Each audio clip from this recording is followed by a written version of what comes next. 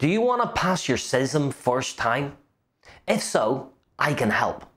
My name's Sean, I'm a Master Trainer here with Nemstar, and over the last 20 years, I've helped thousands of people just like you do that very thing pass their CISM first time. These short sessions will cover some of my inside secrets on how to deal with the hardest exam questions on CISM. Today, we're in part two. It's all about value creation.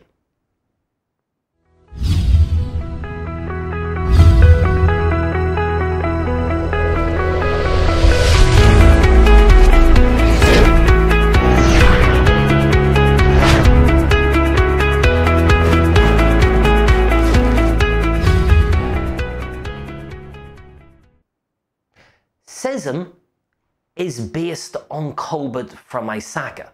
That's the core principles behind everything that you're going to see on your CISM exam. COBIT is a little bit different to other standards and other concepts. The number one overriding thing in COBIT is not controls and protection. It is always about strategic achievement, business needs. In a COBIT world, the business is always right. We are there to understand and meet its needs. And the same is true in real life. The issues we face with COBIT and CISM and ISACA is the same issues we face in real life. We have two diametrically opposing forces. Agility, usability, functionality, value creation from information systems. The other thing we have is information security controls that protect us from ransomware and hackers and phishing and pharming and cross-site scripting. And the two are linked. They're on a seesaw.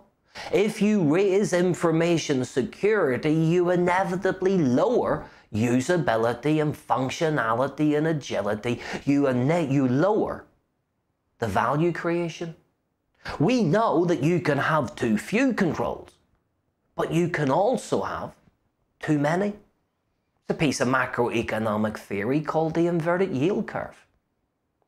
Our job is to ensure not only do we have the minimum control requirements, but that we do not go overboard, that we do not limit the flexibility and usability of a system. Number one is strategic achievement, and number two is value creation. Our job is to create value within the system, to balance the controls with the business needs. With the sole exception of legal compliance, on your CISM exam, business is always right. You always pick strategic alignment, value creation, and if you have to, we do risk management. Risk management is the measurement of the size of the risk. We need to understand the impact that these events will have or are actually having to understand what we should do about it.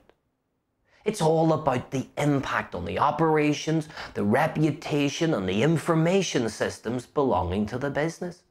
In COBIT, for value creation questions, always pick strategic alignment, go for value creation balance as a second choice. And when you're thinking about risk, it's all about measuring to understand the size of the impact to make the right decision.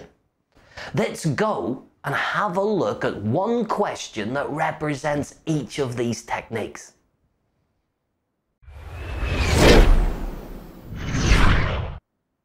Let's look at our first question based around value creation. Here's the question. Which of the following would be the most important to include in a business case to help obtain senior management commitment from an information security investment? Would it be results of an independent audit. Sounds like a really good answer. Definitely something you'd like to do. Independent audits can obtain senior management commitment. In actual fact, I like A. B. Industry best practices. Again, following standards and industry best practices good. I don't like the answer as much because I don't know if industry best packets could help obtain senior management commitment. It's not an incorrect answer, but I like it less. Third, projected business value. Well, look, we've got an awful lot going on on that one. We have the words business and value put together. I really like that one. It goes for number one, strategic alignment, and number two, value creation. And the last one is reference to a business policy. You know, if I'm going to go in reverse order, this is number four. This is number three. My 50 50 is between A and C, and every single time I'm going to go with business value. It's not always about controls. In CISM, a lot of the time it's about value creation. Always pick business, always pick value, always pick strategic alignment. Question number one answer C projected business value.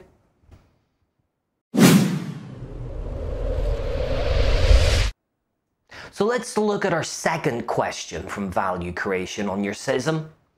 This one, a risk analysis for a new system is being performed. For which of the following is most important? Vulnerability analysis, balance scorecard, cost benefit analysis, and impact analysis? Again, it's yet another question that appears to have four right answers behind it. Vulnerability analysis is a really good thing to do. It will really help me as a business understand. Balanced scorecards are tools that look at strategic achievement and strategic alignment. That is really good for risk analysis. Cost benefit analysis extremely good because it looks at the benefit versus the cost during an implementation phase. And impact analysis is really good because it's part of risk. You see, we now have a situation where yet again we're left with four things. None of them sound incorrect. None of them sound really bad. So what do we do? We go back to our fundamental principles our fundamental rules. Which of the following is most important? Okay, there can only be one of these that's most important.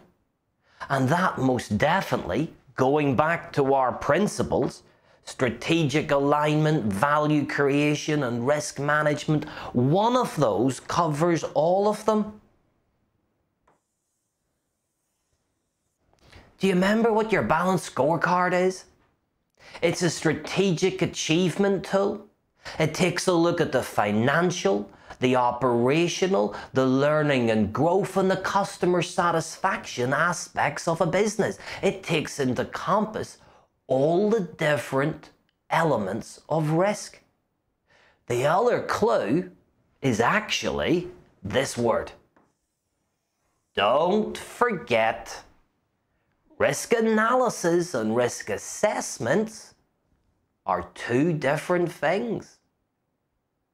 Question number two value creation, balance scorecard. Know your COBIT management tools. This is not as much about technical controls as it is about business acumen. Balance scorecards. Okay, so far in CISM we've covered two out of the three questions. I've kept the hardest to last. This is an absolute stinker. After the occurrence of a major information security incident, which of the following will best help an information security manager determine corrective actions? Would it be calculating the cost of the incident? You, you know what? I like that. Conducting a post mortem assessment? Guess what? I like that. Preserving the evidence? Well, if it's going to be forensics, it's important. I like that. Performing an impact analysis. And again, I like that. I am yet again in ISACA left with four options that I even find it hard to eliminate. What do I do? I need to go back and reread the question. I need to try to understand what they're actually asking me. Because if you read the question, I believe there's an important phrase or term. Which term or phrase do you think is important? After the occurrence of a major information security incident, which of the following will best help an information security manager determine corrective actions? It's not this. It's this.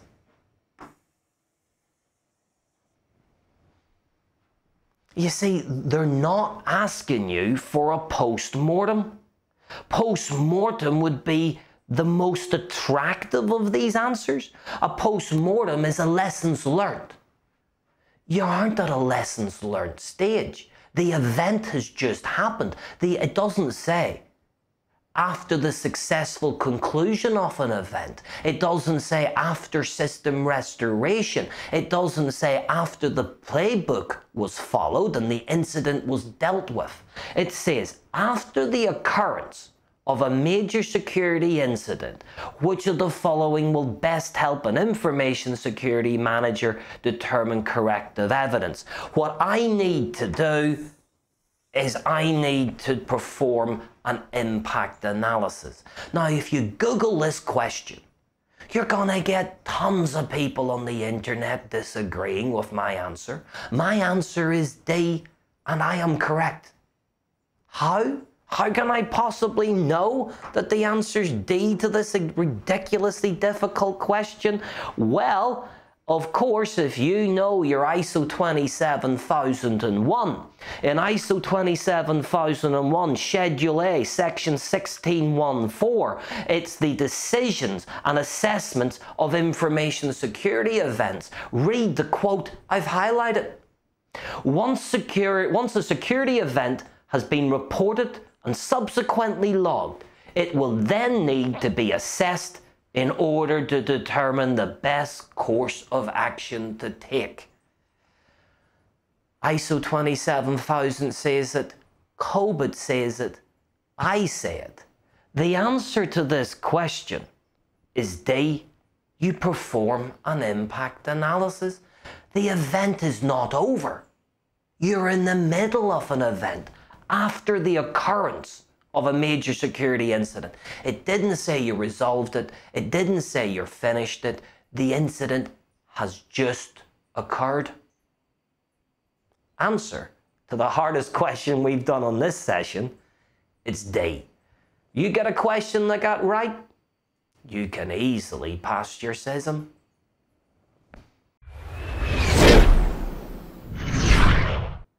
So there you have it. One of the hard exam types on CISM is about business value creation. And your rules are number one, strategic alignment, number two, value creation, and number three, risk management. CISM is about much more than phishing, pharming, and ransomware. It's about understanding and responding to the needs of your organization in order to create value.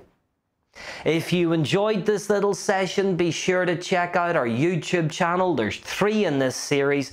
We've already done four right answers. We'll be doing keywords change the meaning next. If you like it, do make sure you subscribe to our channel. If you need some more help or support, do check us out in Google. We're Nemstar. But from me from this session, I hope you enjoyed it. I hope you learned something. Maybe I'll see you next time. Bye-bye.